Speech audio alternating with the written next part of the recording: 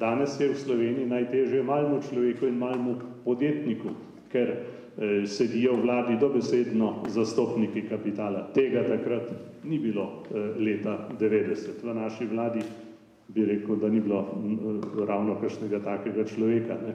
In jaz mislim, da je treba to sliko normalizirati in sem prepričan, da se bo. E, ime zame ni tako pomembno. Pomembno je, ali se bomo zedinili v diagnozi, dokje je naša tranzicija prišla, in ali se bomo zedinili tudi za akcijo. To velja tudi za celo tako pomladno stran. Te dni nas sprašujo, ali bo še kdaj pomlad. E, pred 20 leti smo natančno vedeli, kaj je treba narediti in smo se zedinili, kaj bomo naredili in smo tudi naredili. Jaz zdaj tega, teh imenovalcev, teh pogojev še ne vidim izpolnenih in mene ne zanimajo zgolj tehnični premiki v smislu večin, ne, bodo pa drugi zmagali. Mene zanima, kdaj bodo drugi delali drugače. Ne. Jaz se omr se čem strinjam tudi z Bučanim, ki pravi, da je treba menjati paradigmo politično. In trdim, da smo jo 90. leta Eh, zamenjali, ko smo politiko vrnili polisu. To, kar smo mi delali, bilo za vse. Vojna, ki smo jo izborili, je bila za vse. Po njej nismo dobili avantgarde, nismo dobili novega roga, dobili smo eh, ljudi, ki eh, so se z veseljem prištevali k isti svobodni državi. Nismo hoteli divjega kapitalizma, hoteli smo socialno-tržno gospodarstvo, Jože Ostrc bi dodal zraven še besedo eko in to, kar je on zastopal, je bilo eko socialno-tržno gospodarstvo. Mi smo vedeli, da je podeželje strateška postavka, danes je z tega ne vidim. Danes imamo večje razvojne razlike med pokrajinami, kot smo jih mi nasledili od stare oblasti. Eh, takrat smo imeli vizijo, smo imeli program, smo imeli strategijo, smo imeli podporo in smo imeli tudi korajžo in nekaj sreče, da imamo še to dodati. Ne? Danes manjka vsaj pol od tega naštetega ali pa vsaj jaz tega ne vidim. Jaz sem prepričan, da bo prišlo do novega pojava krščanske demokracije, ne glede na po pod kakšnim imenom, se mi zdi to najbolj naravno in najbolj normalno. Eh, ni se pa pri nas zgodilo tisto v teh letih, ko smo se bolj posvečali eh, državi kot stranki, da bi imeli eno trdno bazo, ki ne bi najprej razmišljala o ministerskih in drugih pozicijah, ampak ki bi držala neko vrednostno podlago na terenu in je ne bi majale javnomnenjske ankete in razna krila in tako naprej. Ne. Vi veste, kakšen je bil razvoj znotraj stranke, eh, kaj so delali nasprotniki, kaj so delali prijatelji. Iz vsega tega upam, da smo se nekaj naučili, razdeljeni pa gotov ne bomo veliko naredili. Mislim pa, to moram pa tudi še reči, da po 20 letih od prvih demokratičnih volitev sem prvič zares zaskrbljen za to državo.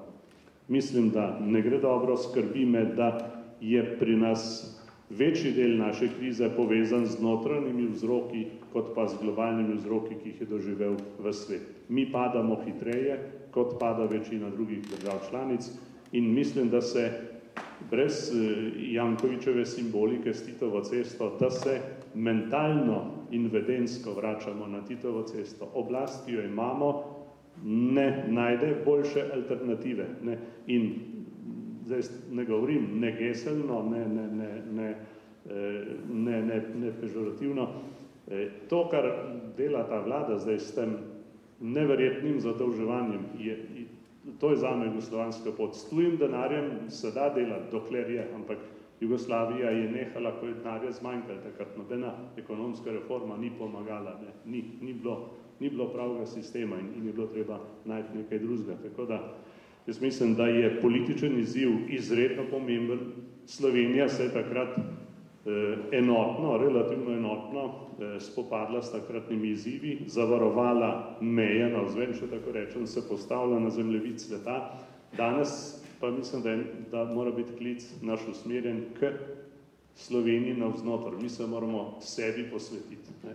In tudi mečken eh, ne rekel pozabiti na Evropo, ampak Evropi povedati, eh, da mi imamo že izkušnjo, kakršno zdaj Evropa doživlja. Kar zdaj Evropa v velikem doživlja, smo mi doživeli v Jugoslaviji. Jugoslavija je propadla, predvsem tudi zato, ker ni bilo čistih računov. Ne. Zdaj imamo podobno sliko tam, da pa mislim, sem že preveč povedal. Torej, jaz verjamem, da bo tem do tega prišlo in še nekaj bi rad rekel, ker je nekaj tega krščanskega refleksa ali zadržka še zmeraj med našimi ljudmi.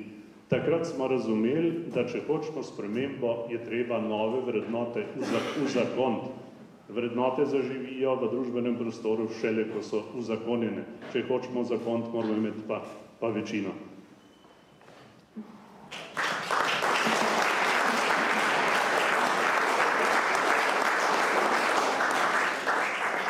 Ja, po tem eh, političnem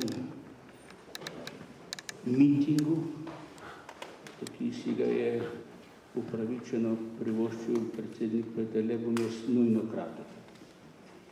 Jaz vidim dve, dva razloga, vsaj dva razloga v upadu krščanske demokracije na slovenskem. Prvo je, naj ne zamerijo tu prisotni, kriza vodstva voditelja.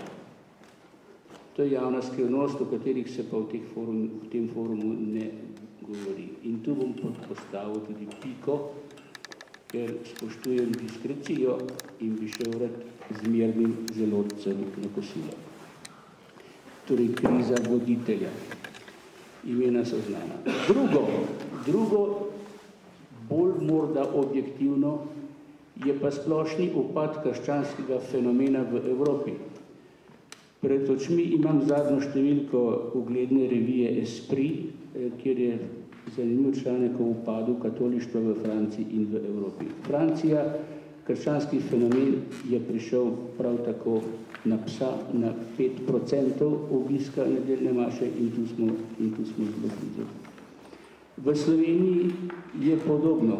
V krizi je krščanstvo, to pa zato, ker smo priča neke vrste restauraciji, to dosedel sem se usodno zameril najvišjemu možu slovenske cerkve, ampak mislim, da nisem daleč od resnice.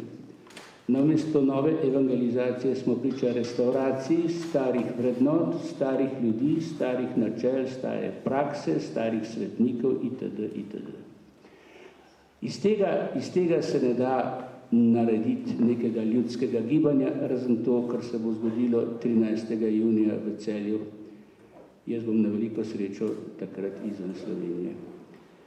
E, tudi sicer vidimo, da stranke s krščanskim imenom izginevajo iz evropskega političnega zemljevida, če odštejemo Nemčijo, Avstrijo, v romanskem svetu jih ni.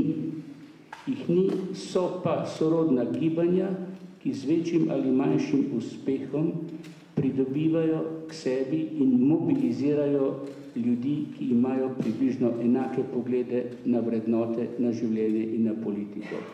Jaz mislim, da je tukaj pot tudi za Slovenijo. Jaz kakšne nove krščanske stranke si niti ne bi želel in jo niti ne vidim. Razen, seveda, če hoče priti 4,8% na 3,8%. To v tem primeru ja. E, tako da, se bo, da bo treba tu razmisliti o neke vrste gibanju. Italija je dežela z neizčrpno fantazijo. Ne? Vsi stari politiki, ki so jih ali pozaprli ali so pogoreli, so naslednji dan ustanovili novo gibanje. Ne? O, o tem Ivo Jevnikar več ve, kako res. Dajmo se naučiti tudi mi neke te politične modrosti.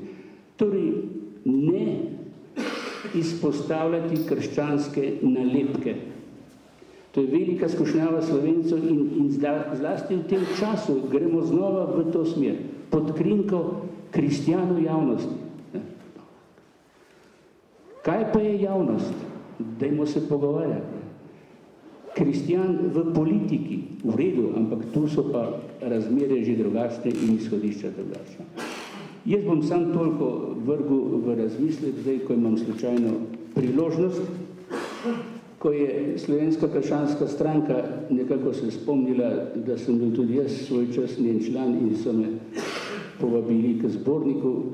Mislim, da me niti ne bi povabili, če ne bi župan Strgar me srečal slučajno v te vse na ključu in je rekel, a tebe pa niso povabili? Ne, sem rekel, no in potem so me pa.